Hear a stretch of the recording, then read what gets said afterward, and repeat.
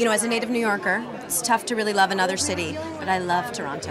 And I know that I speak for everyone on this film when I say that we are wildly honored to have been invited to the festival and to be in the company of such distinguished filmmakers.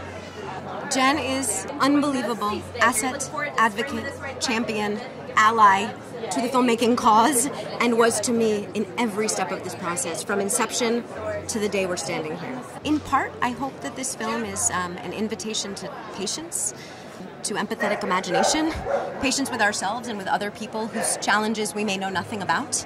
Um, uh, and I don't know, maybe for anyone who's going through a tough time, that this film might uh, make them feel a, a bit less alone. Thank you.